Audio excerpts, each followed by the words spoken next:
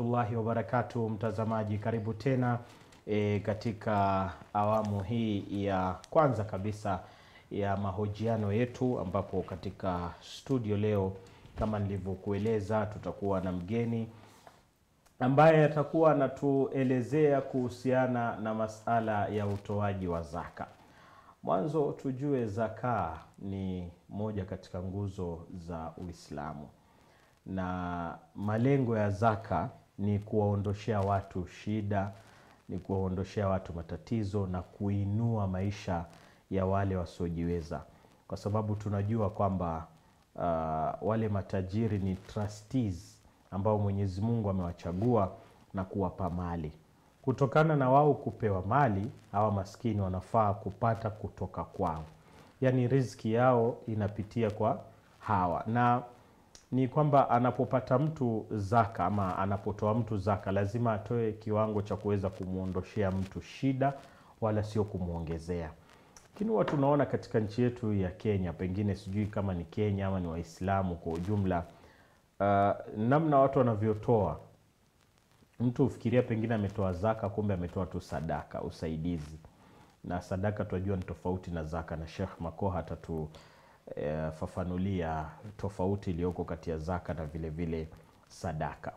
Na tunaona pia ulimwengu unapoendelea kuzindua njia mbalimbali mbali, za kukabiliana na umaskini e, kwa umma wa Kiislamu zaka iliweza kuwekwa ili kuondosha umaskini, yaani ifike wakati ambapo hakuna Mwislamu maskini, kwa sababu zaka zinafanya kazi namna inavyotakikana, na hili liliwahi kutokea katika khilafa tofauti tofauti, khilafa ya Umar bin al-Khattab na vile vile uh, mwenzake Umar mwenzake Umar bin Abdul Aziz na wengi wema ambao wametangulia. Hapa nchini kuna juhudi za kufufua na kuhuisha mfumo huu wa kidini ambao huendeshwa na Zakaa Kenya. Najua wengi mshasikia kuhusiana na Zakaa Kenya maana wako na activities mbalimbali mbali ambazo wanazifanya. Miongoni mwayo inapofika Ramadhani, kuna ile iftar walk ambapo watu hutembea ku raise funds za kuweza kuwasaidia. Vile vile kuna magari barabarani wakati wa kufungua, wale ambao wamechelewa kwenye jam wanapata vifungulio vya mwadhini pale e, na mambo mengi ambayo wanafanya. Mimi si mwenyeji katika Zaka Kenya, lakini ni miongoni mwa mambo ambayo nimeyaona wakiyafanya ili kuinua maisha ya Wakenya na vilevile vile Waislamu. Na ndipo leo hapa katika studio zetu tupo na Sheikh Hassan Makoha.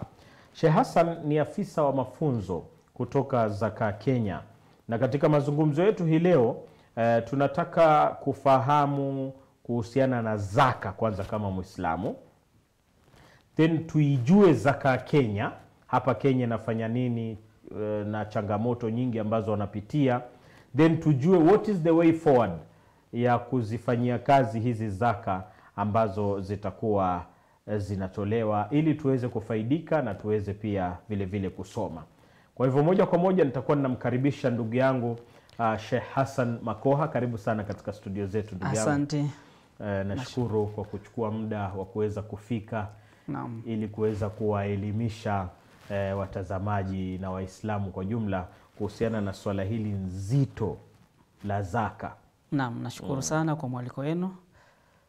Tumekubali mwito Naam.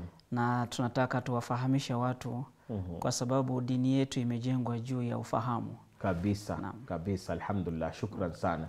Mwanzo kabisa, kabla hatujaingia katika mazungumzo yetu, twataka kukujua shekh hasan Makoha ni nani? Uh, pengine amesomea wapi, amekulia wapi na shughuli ambazo anazifanya katika Zaka Kenya. Naam, kwa majina kamili naitwa Sheikh Hassan Makoha. Na nimesomea viwango tofauti tofauti kuanzia primary school sehemu za Mumias kukuja secondary school, alafu baadaye nimejiunga na Thika College for Sharia and Islamic Studies ambapo saizi imekuwa ni Umma University Uma. na wakati huo ilikuwa inatumika syllabus za International University of Sudan. Baada ya hapo nimeingia katika uwanja wa kufahamisha watu kuhusu dini. Nimekuwa imam, nimekuwa mwalimu, na saizi alhamdulillah niko katika Zakat Kenya bado ni ule uwanja wa kufahamisha watu kuhusu dini yao na haswatan saizi nashughulika na- nashughulika na zaka Aha. kufahamisha watu kuhusu zaka kwa sababu vile watu wanavyofanya bidii ya kujua shahada ya kujua kuswali ya kujua kufunga mm. ya kujua kwenda haji na mambo ya umra na mambo mengine pia watu wanafaa wafahamu zaka Da, kabisa kabisa umetaja Thika, nikamkumbuka moja katika sahibu zangu sasa hivi uko hospitali e, kadhi wa Nakuru e, Tito Kunyuk kinyuko eh, ambaye alikuwa ni kadhi wangu Kisumu, sasa hivi yuko Nakuru. A, mgonjwa yuko katika hospitali ya Eldoret na inshallah tumwombee Mwenyezi Mungu Subhanahu wa Ta'ala ampe shufaa. amin Naam. Ah, umesema kwamba wewe unafanya kazi ya kuelimisha watu kujua zaka na unafanya upo katika Zakat Kenya. Tunataka mwanzo kuijua, tushakujua Sheikh hasan Makoha ni nani, maana mimi pia nishakuwa katika uh, hutuba zake nyingi misikiti tofauti tofauti. Uh, lakini sasa tunataka tuijue hii Zaka Kenya ni shirika aina gani haswa ambayo mwislamu anaweza kusema uh, pengine naweza kwenda zaka Kenya. Is it an NGO? Uh, is it a CBO ama is it working with the government? Yani ni shirika la aina gani? E, mwanzo e, ni vizuri kwa sababu Mwenyezi Mungu Subhanahu wa Ta'ala anasema fasal ahli dhikri in kuntum la ta'lamun. Mm -hmm. Ni kweli ikiwa haujui jambo lolote uliza wale wanao- Wanaojua. Mm. Kwa hivyo mimi ni mmoja wao katika Zakat Kenya. Kwanza tufahamu Zakat Kenya ilianza lini na ilianza vipi? Mm -hmm. E, kwanza ilianza mwaka wa 2017 Mm -hmm. na ilianza kutokamana na kwamba mara nyingi ikifika wakati wa iftar mm. sisi tunaangalia zile sehemu za mabanda ama mm. tuseme slums Slums, na utapata baadhi ya slums zinajulikana na baadhi ya slums hazijulikani. Kwa mfano ilikuwa ni ukitaja slamu yoyote nchini Kenya utasikia Kibra na Majengo. mm -hmm. Kwa hivyo utapata katika mwezi wa Ramadhani watu wana moyo wa kutoa na watu hutoa kwa wingi. Kwa hivyo utapata wengi walikuwa wakitoa ni Majengo, ilikuwa ni. Kibra Na Majengo, Majengo. Kibra mm. na Majengo. Tukakuja na mbinu ya kwamba sasa kuna watu wengine wasiokuwa Kibra na Majengo ambao wanahitaji. Naam. Kuna Kangemi, mm -hmm. kuna Kawangware, mm. kuna Mkuru, Kuna madhare kuna Madhare, kuna Huruma, Gocho. kuna Deep Sea, kuna yani, kuna sehemu nyingi. Kwa hivyo tukawa tunawaeleza kwamba ndio mnataka kupeleka futari, ni jambo zuri sana, kwa sababu anaelisha mtu ama anayemfanya mtu kufungua anapata thawabu sawia na za mwenye amefunga. Kwa hivyo ni jambo zuri ambalo limependekezwa katika Uislamu, lakini sio hawa tu. Mfano mtu wa Kibra ama Majengo amepata iftari ya watu watatu ama wanne zaidi mm -hmm. na kuna sehemu fulani ambayo mtu hajapata hata ya mtu mmoja. Kwa hivyo tukapatia njia mbili. Ya kwanza sisi tuna data tuna information kwamba kuna watu sehemu fulani wanaohitaji. Kwa hivyo tupatieni futari yenu tupeleke, ama kama hamwezi, sisi tutauelekeza, pelekeni mahali fulani. Hapa na hapa. eh. Sasa ikakuwa hivyo. Baada ya hapo sasa ikakuwa ni swali, je, huyu mtu anahitaji chakula? Tunajua anahitaji chakula mwezi wa Ramadhani. Je, hizi miezi kumi na miezi kumi na moja zilizosalia hali yake ni namna gani? Tuna concentrate, tunafanya bidii mwezi wa Ramadhan na tunacho kile chakula tunampatia hakita kitadumu mwezi mmoja, na je miezi kumi na moja tabaki namna gani?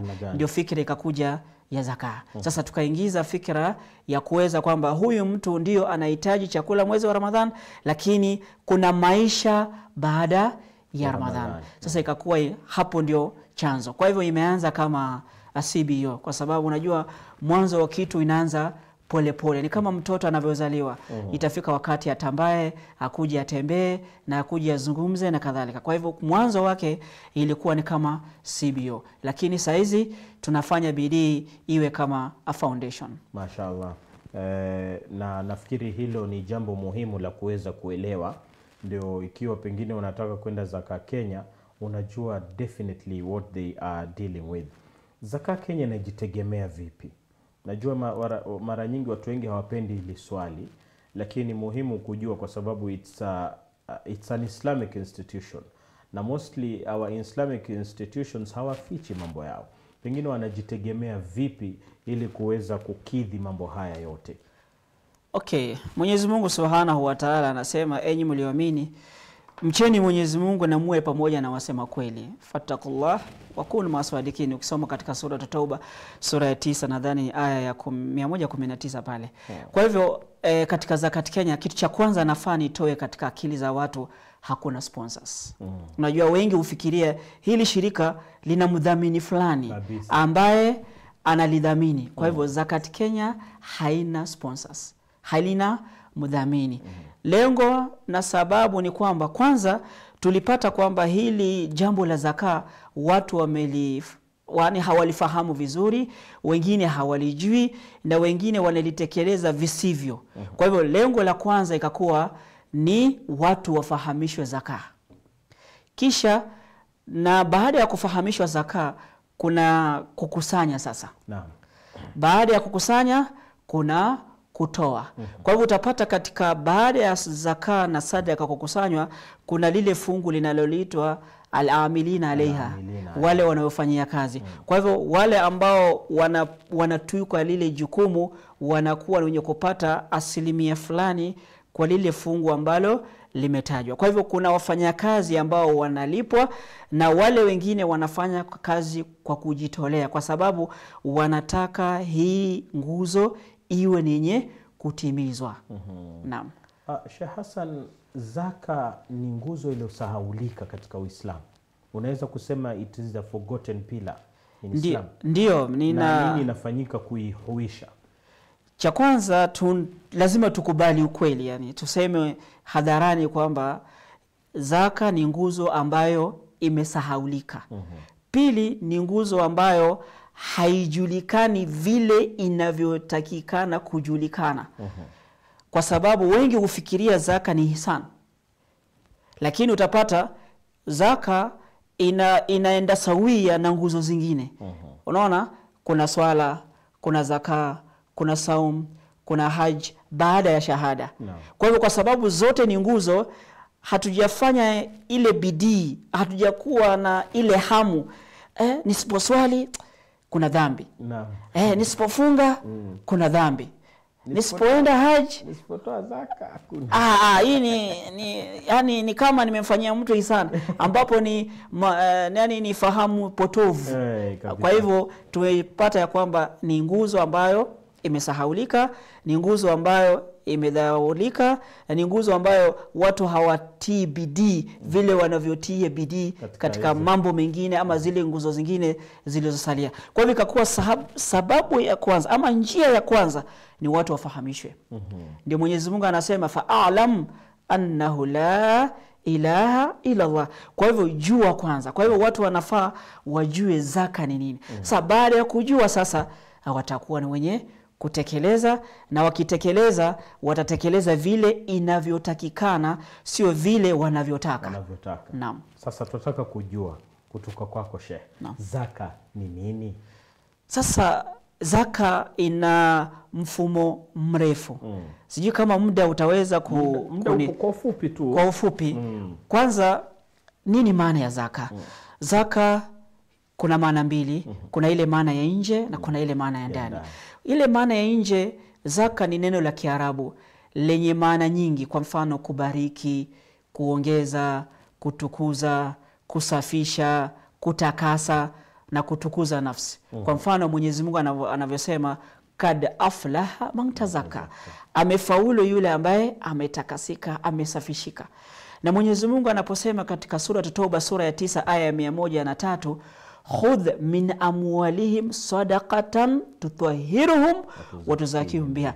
Yani uh, hapa ni amri ya allah subhanahu wa taala kwa mtume muhammad sallallahu alaihi wasallam ewe muhammad chukua katika fungu lao eh, katika mali yao fungu fulani ambalo litasafisha mali zao na lifanye mali zao ziongezeke.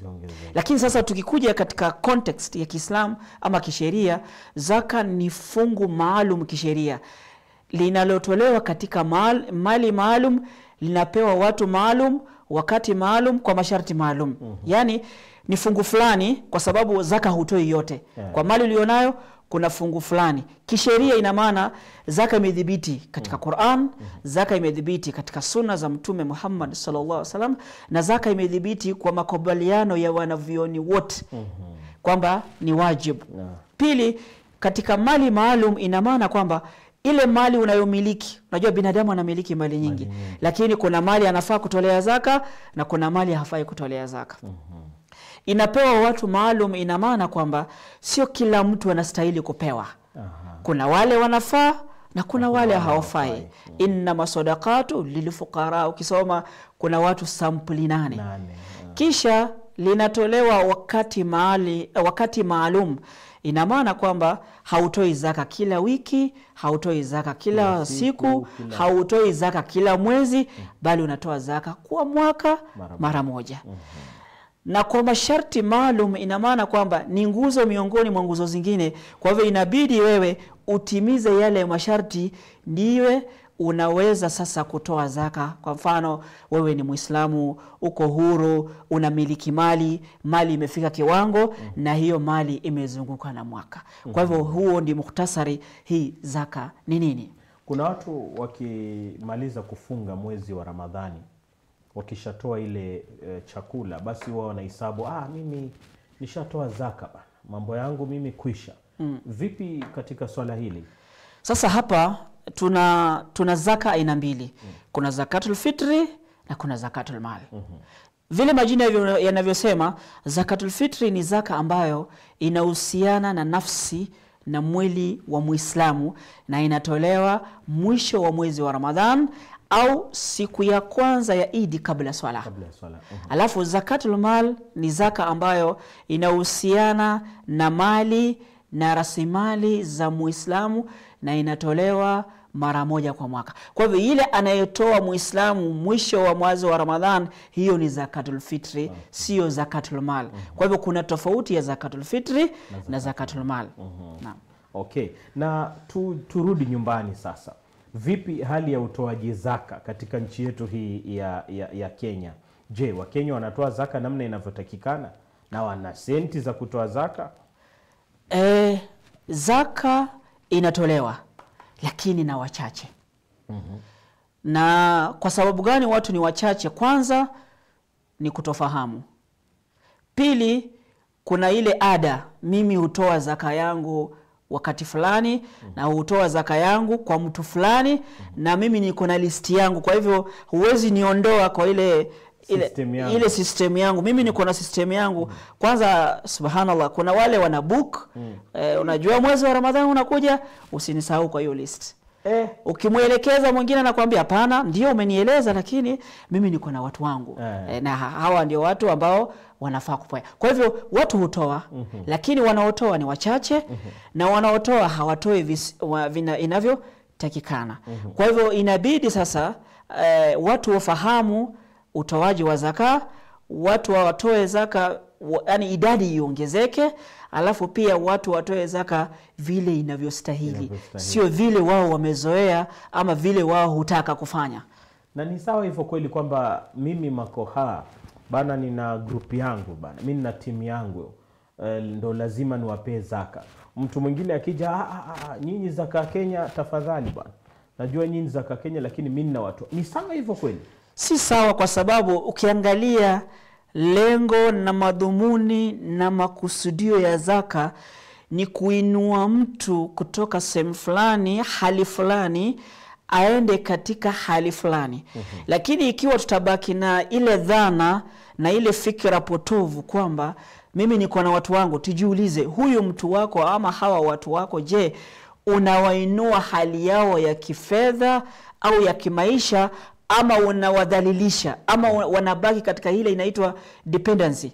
Kwa sababu ni kama ni watu ni wale wale, ina maana kwamba kwa njia tofauti ni kwamba unawapatia mwa, unawapatia mshahara wa kila mwaka.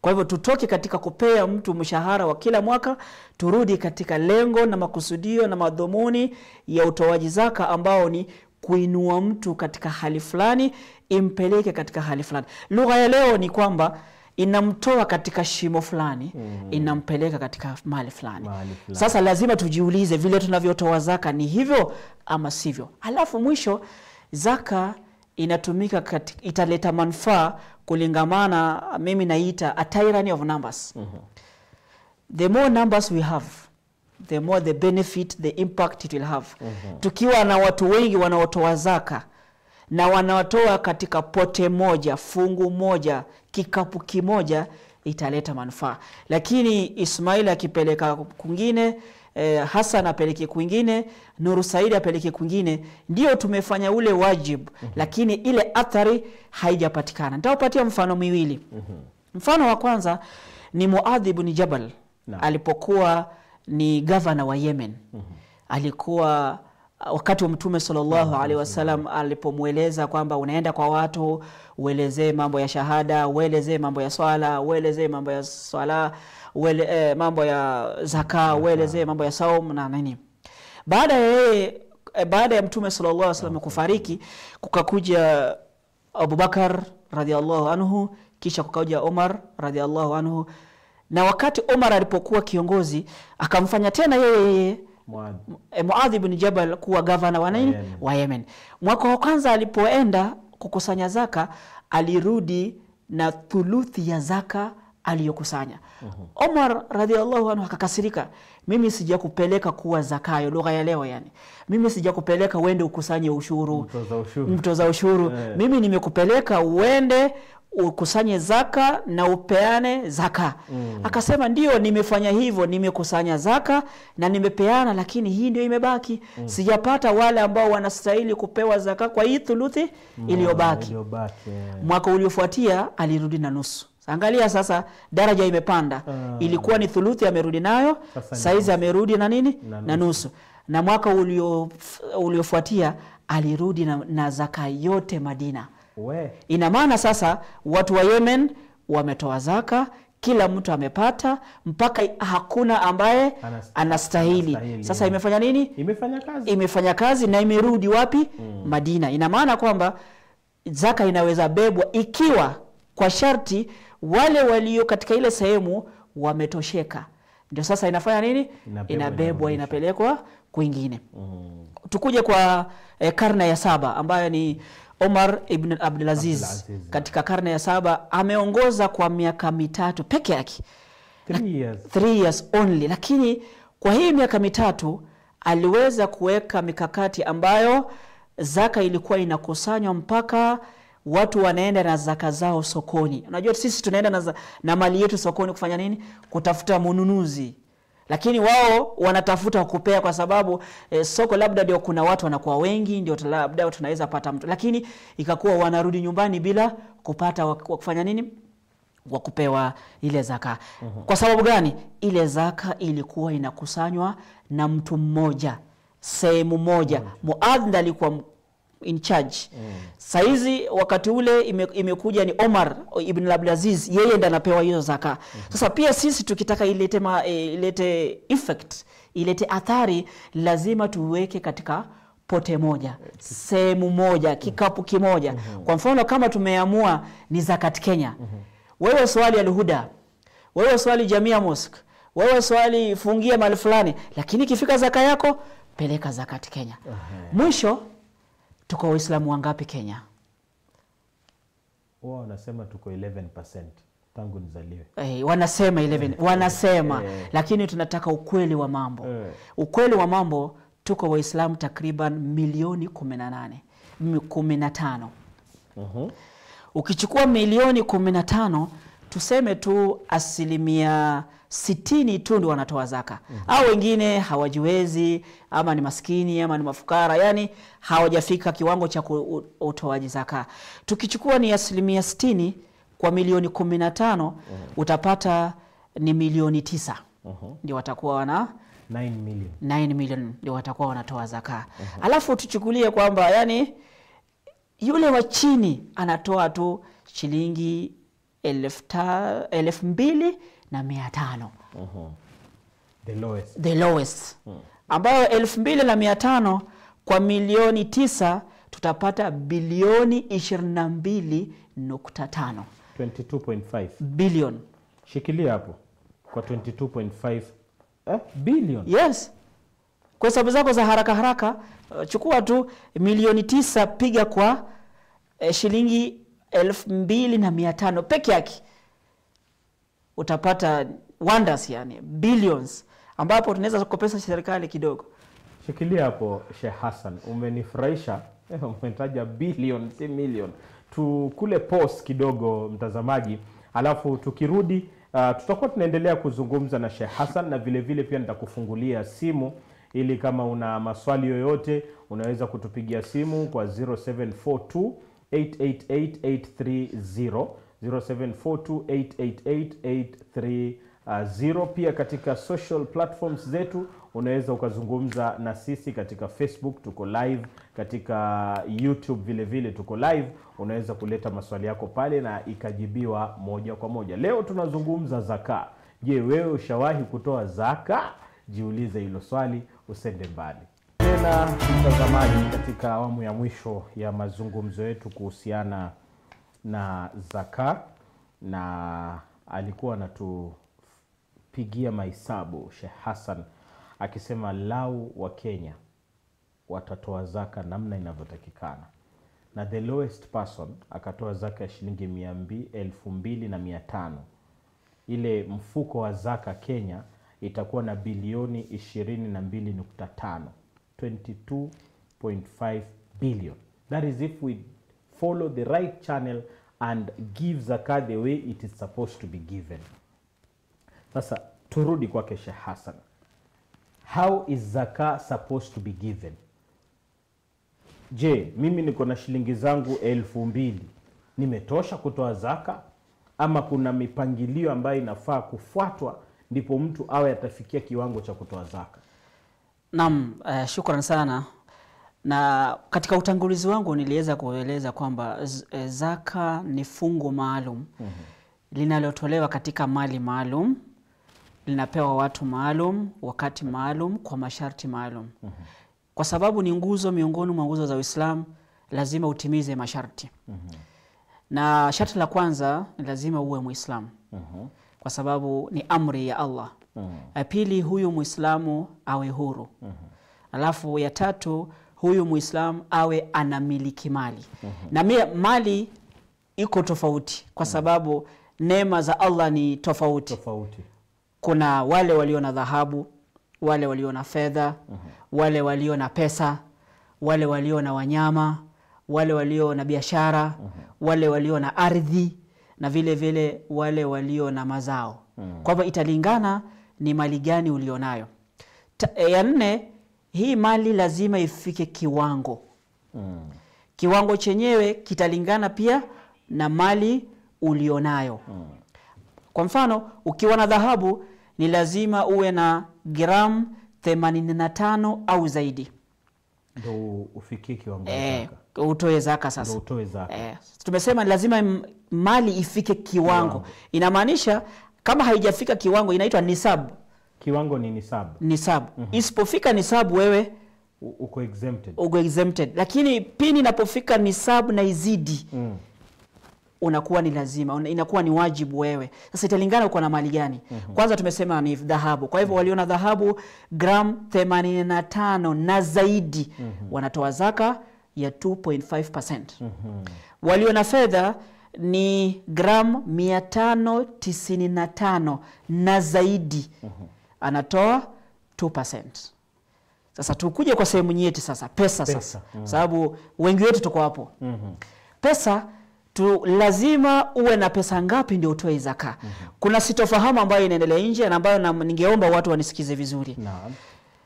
Pesa italingana na kiwango cha dhahabu au kiwango cha fedha.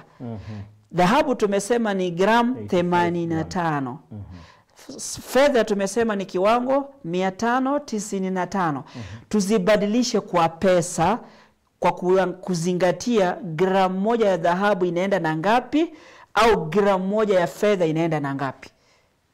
We? Sawa. Sisi siku hizi mambo ni digital. Digital eh. vile unavyofanya google ya kitu chochote utaenda kwa simu yako uangalie the current price of one gram of gold today. Nafikiri ni 11000 mashallah kumbe uko uko updated. Kongole uko updated. Uh, ni 11000 mm. tunachukua 11000 mm. multiply by 85 grams. Okay. Ambapo ni 935000 Mhm. 11000 multiply by times 80 tuseme 86 uh, tumia tu 85 85 Yes. 85 that is 935000 tuweke kando hiyo. Tukuje kwa fedha. Mm fedha fedha ni 595 grams. Moja inaenda na pesa ngapi? Tutaangalia takriban yani dhahabu ikipanda fedha pia inapanda Inapanda. lakini haziwezi kuwa sawia. Kwa ziko same uh. ikishuka pia inashuka. Mm.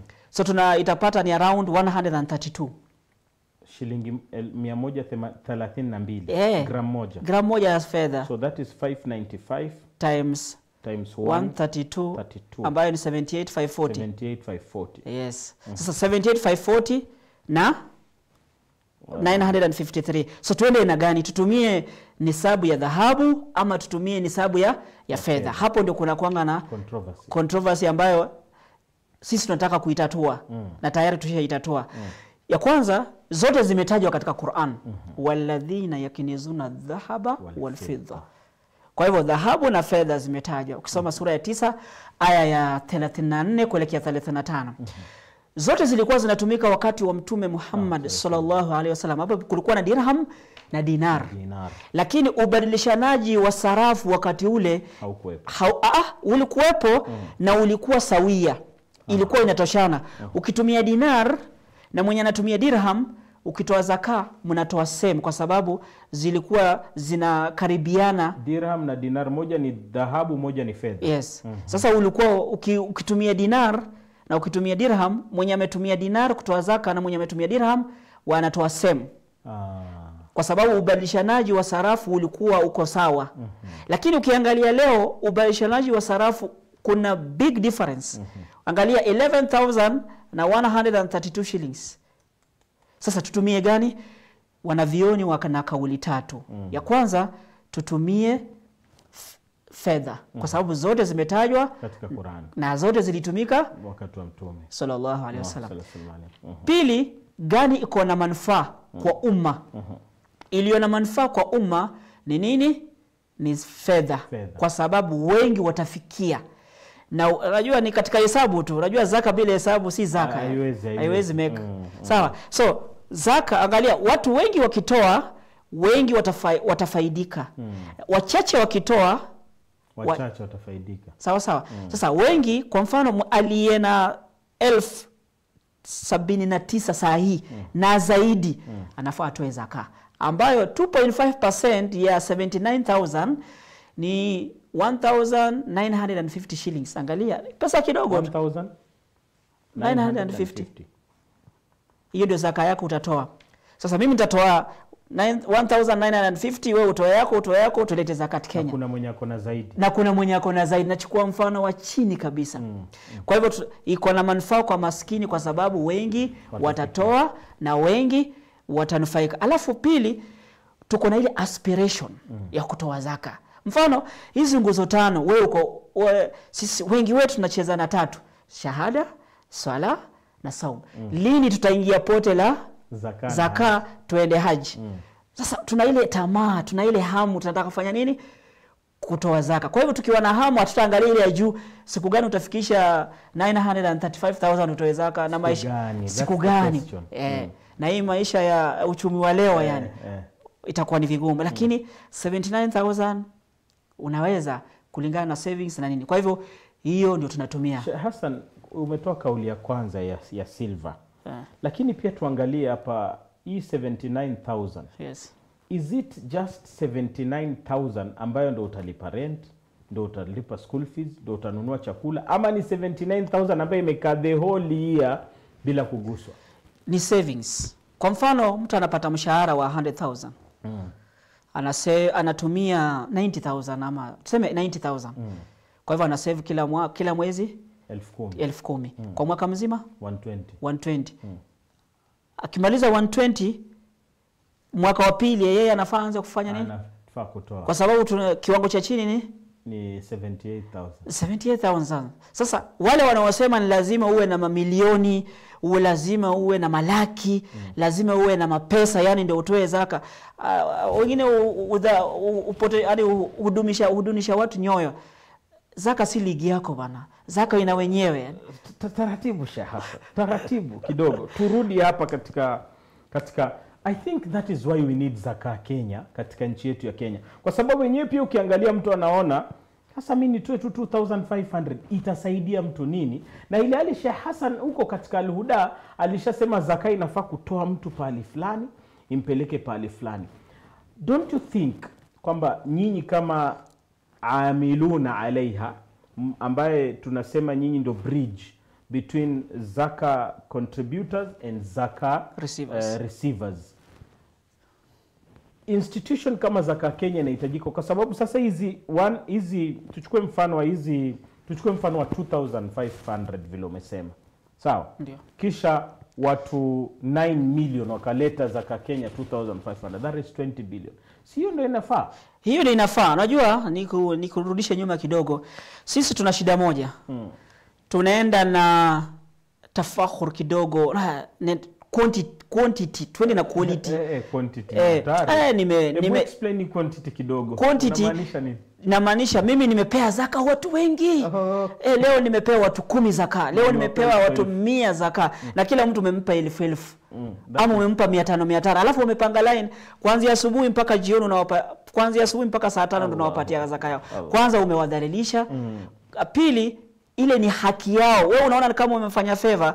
Walladhina fi amwalihim haqqun maalum lisailin wal walmahrum in your wealth it's a right. It's not a favor. Mm. sasa usione umefanya favor ati nimetoa zaka kwa watu ishirini nimetoa zaka kwa watu mia na umewapangisha laini umewapatia watu mia moja mia moja ama elfu moja. Alafu kesho watarudi pale pale. Kwa hivyo tulete zaka yetu mahali pamoja ili ilete impact ilete athari. Huyu mtu akipewa anapewa kitu cha maana.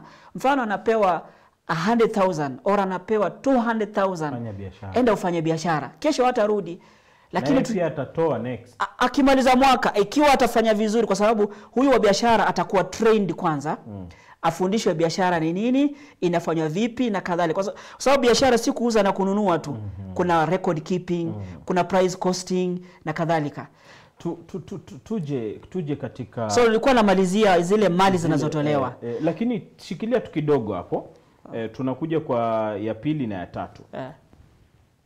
zaka kenya. Eh. wajua watu wanaweza kusema by the way hiyo idea zaka kenya ni uh, amazing. Lakini how do you vet the rightful people ambao wanafaa kupewa hii zaka na mtawaamini aje mpaka muwape zaka na muwe mnawafuatilia kuona wanafanya vipi? Kwa sababu hapa ndo changamoto huwa inatokea. Due diligence. Uh, due diligence ya kwanza ni nikuambia mwanzo Fas- fasal ahli dhikri in kuntum la taalam huyo mtu humjui tafuta yule anayemjua mm -hmm. kwa hivyo zakat kenya inafanya kazi na maimams mm -hmm. zakat kenya inafanya na watu tunaita representatives mm -hmm. kila sehemu tuko na representative wetu ambaye mfano ukija katika ofisi natoka kibra mm -hmm. tuna mtu wetu kibra mm -hmm. enda kwa Mohamed Aman mm -hmm.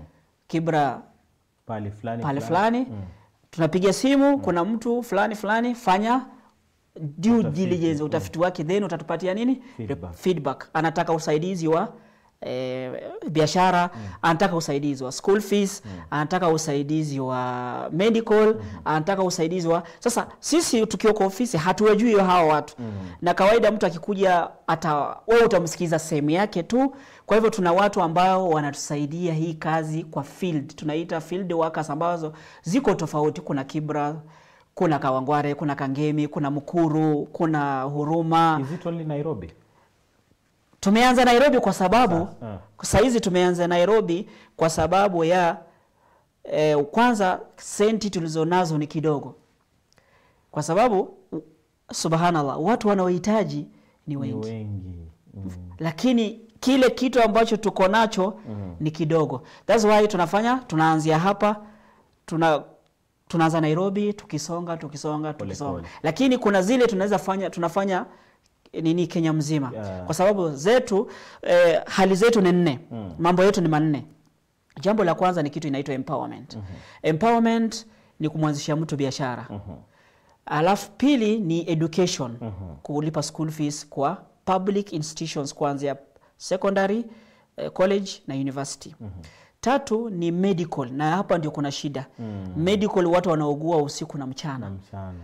Na hii tunalipa kulingana na uwezo wetu hospitali yoyote ya public na private lakini tunapea kipaumbele public. Public. Alafu welfare. Sasa utapata haya mambo yote yanahitaji pesa. Yeah. kwa hivyo kwa upande- wa empowerment tuna deal na watu within Nairobi na vitongoji vyake kwa sababu kutakuwa na ile verification kwa wale watu wako kwa field na kuna ile follow up. Sawa sawa. Kwa hivyo inatupa uwepesi wa kufanya nini? Kufanya follow up. Lakini medical na education ni Kenya mzima. Ah, maadamu ni mtu ni mgonjwa ama ni anahitaji school fees na ana, ana amekuwa amethibitishwa kwamba anahitaji kulingamana na wale watu wako on the ground na amefill our form. Unajua lazima ufill form. Lazima yeah. yeah. accountability unajua sisi we have to be re, we are responsible and accountable, And accountable. first to Allah because mm. hii ni amana. Two to the people who are giving us mm. the zakah mm. and their sadaka naam.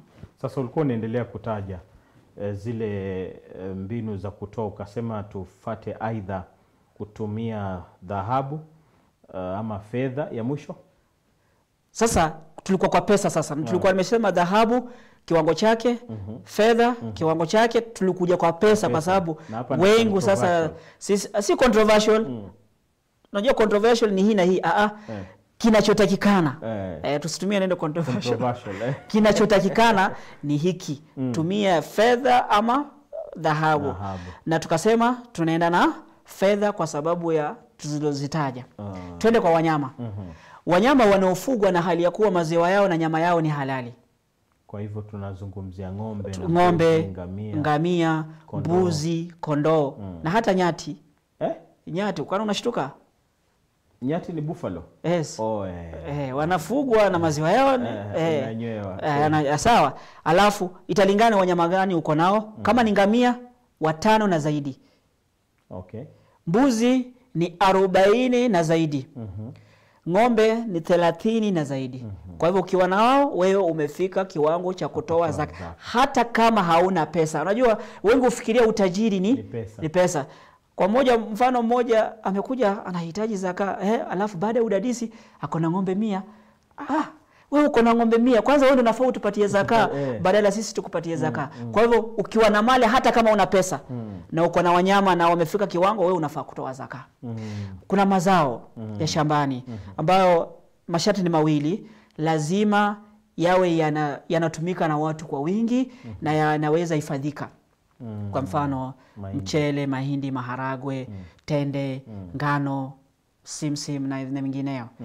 alafu eh, je wale wanaofanya ma, uh, ukulima wa matunda hizi eh, hizi inaitwa uh, matunda uh, these fruits alafu kuna hizi za fru, nini kales or vegetables, Vegetables. sukuma wiki cabbage. au hawatatoa zaka kwa sababu kwanza haitumiki kwa wingi wala kwenye storage yake iko na uh, kwa mwaka. Hawezi weka kwa mwaka ama kwa muda fulani. Lakini wakifanya kwa ajili ya biashara zaka yao sasa itatoka ingie kwa biashara.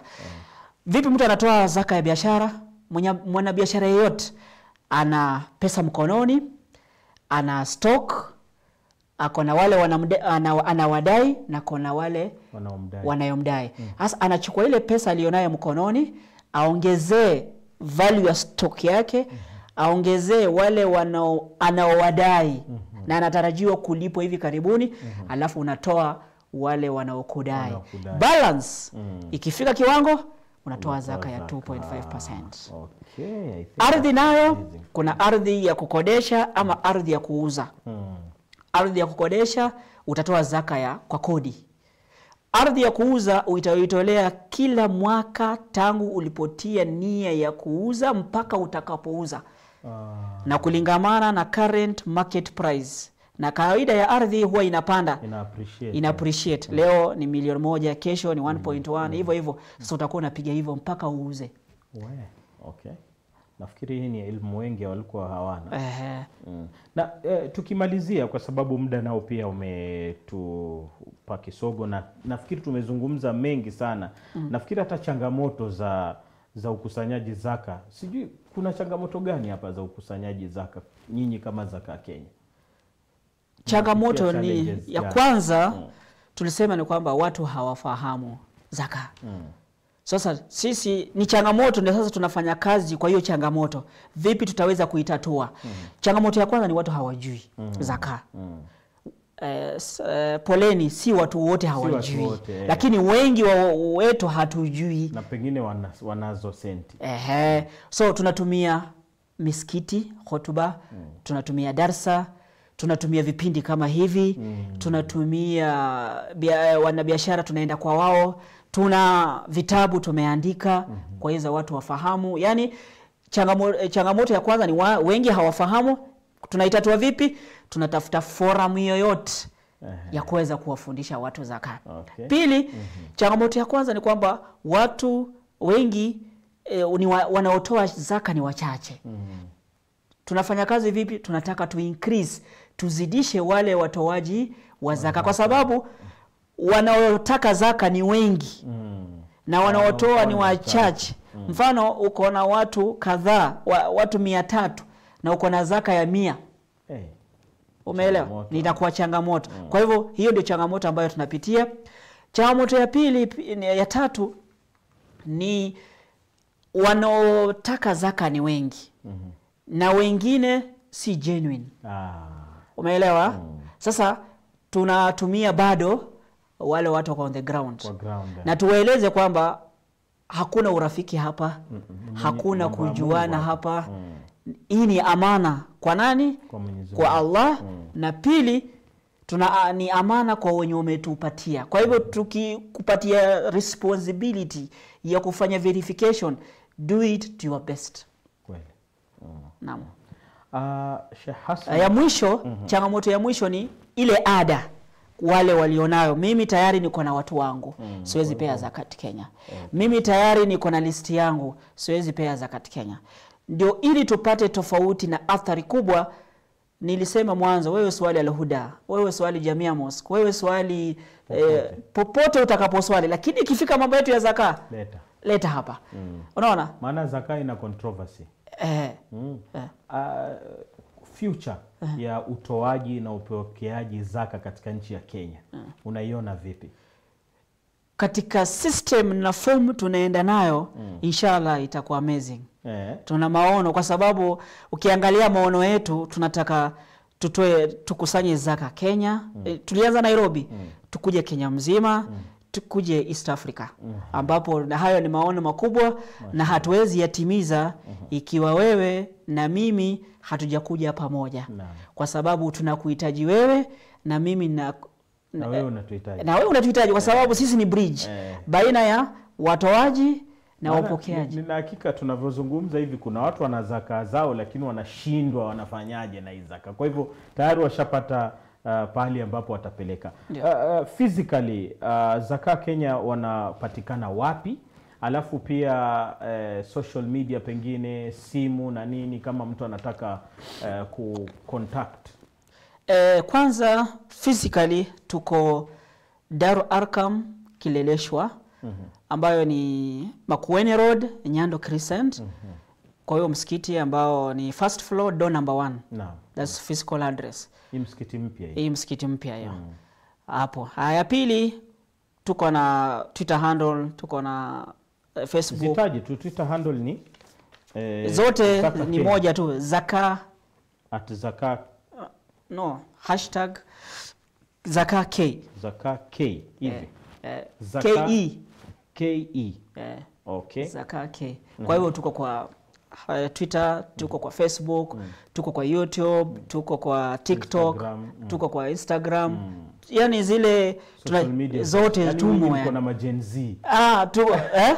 mko na majenzi ambao eh. wanaendesha wanacheza wanacheza kama wao si unajua hao ndo watu wa, wa hizi vitu. Ah, hata wale mamillennials wanajifunza. Ah, sisi huko kidogo inatulemea. Unasoma tu. Uh, na unasoma pengine namba za simu kama unaweza wapatia pia inaweza kuwa muhimu za ofisi. Eh, namba zo, za simu ni zi- ni kama ifuatavyo. 0792 796 991 na 0724 24 74 94 hizo ndio namba zetu za simu. Na kawaida namba ya ofisi hupigwa kuanzia saa tatu mpaka saa kumi na moja sababu iko station kwa ofisi. Okay. kuanzia saa tatu mpaka saa kumi na moja na jumapili hatumpo. What other activities do you do apart from masala ya collection ya zaka kwa ufupi tu tukimalizia ndo swali yangu ya mwisho mm. mm. activities ambazo tunafanya aim original objective mm -hmm. ni zaka haya mengine tunayofanya tunayafanya kwa publicity kuweza kujulikana kufikia watu kuweza kufikia watu both wanaotaka kutoa mm -hmm. na wale ambao wanataka kuchukua ku- ku- kupokea mm. kwa hivyo tunatu wakati wa ramadhani huwa tunakuwa na iftar na hiyo ndio ilikuwa ndio kizazi hiyo ndio chimbuko la zakati Zaka kenya, Kenya, mhm. kwa hivyo tunanunua chakula tunakusanya pesa tunanunua chakula na tunapeana na pakeji yetu ni tofauti mm -hmm. kwa sababu lengo letu si kumpatia mili ya siku moja mm -hmm. sisi tuku- pakeji yetu ni mzito Yenyu ni ration ni ration mm -hmm. ya familia sio ya mtu mm -hmm. kilo kumi za u- unga wa ngano kilo kumi za unga wa ugali kilo tano za, za, za sukari mm -hmm. kilo tano za maharagwe kilo moja ya chumvi kilo moja ya majani na 5 liters ya cooking oil. Hiyo ni familia. Na alhamdulillah kuna watu wamepea ushu, wametoa ushuhuda kwamba inawa, inawapeleka ramadhan mpaka shawal Mpaka Shawwal. so hiyo ndio tunafanya ya kwanza. Ya pili kuna kwanga na ile walk iftar walk. Yeah. bado iftar walk ni kukueleza watu kwamba iftar inakaribia mm. eh, ramadhani inakaribia Inakaribia, na watu kutakuwa na iftar na kutakuwa na watu wanajiweza kupata iftar na kuna watu ambao hawajiwezi. Sasa tunaifanya kila mwaka. Mm. alafu pia kuna zakatul fitri tunakusanya mm. na hiyo zakatul fitri bado tunatumia ile mbinu ya kukusanya.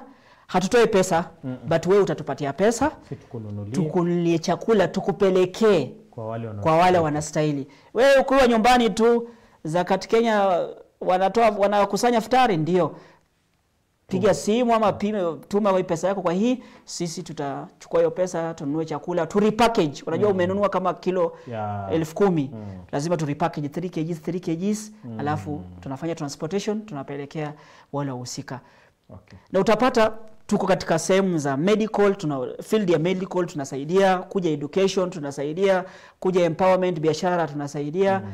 na kadhalika lakini kamba Lengo. yetu ni fupi mm. haifikii Kenya mzima Kenya mzima. Inshallah Sheikh Hassan itafika na itafika hata zaidi ya Kenya mzima. Mwenyezi Mungu Subhanahu wa Ta'ala kwa nia zenu nzuri aweze kuwafungulia njia zenu Amin. na Wakenya tumesikia eh, kwamba usikae na zaka yako pale nyumbani. Kuna sehemu ambayo sasa unaweza kuitoa ili iweze kuwafikia wale wanaostahiki, na usingoje kufikisha mamilioni eti ndio utoe zaka. Ametupatia fomula rahisi sana hapa ya kuweza kutoa zaka. Mimi mwenyewe nilikuwa siijui kwa hivyo nimepata mafunzo mazuri. Mwenyezi Mungu atuwafikie.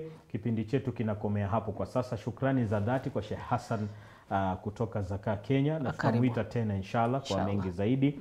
Wote waliofanikisha kipindi nyuma ya kamera, katika control room, katika sehemu zote uh, wasimamizi wa vipindi, Mwenyezi Mungu Subhanahu wa Ta'ala wafikie. Mimi naitwa Nur Said. Hadi kufikia hapo hatuna la ziada. Wassalamu alaikum warahmatullahi wabarakatuh.